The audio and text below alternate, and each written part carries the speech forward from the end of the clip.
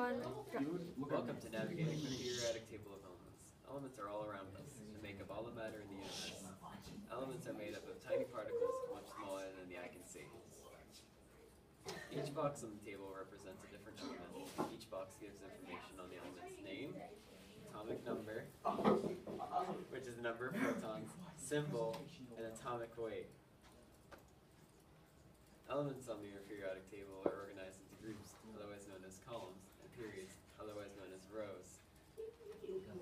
represent the number of electrons in an element's outer shell, and rows represent the number of electron shells in the element.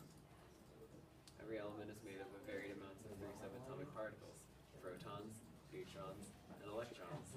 Protons and neutrons are found in the nucleus, and protons are determined by the atomic number. The number of neutrons can be found by subtracting the atomic number from the atomic mass and rounding.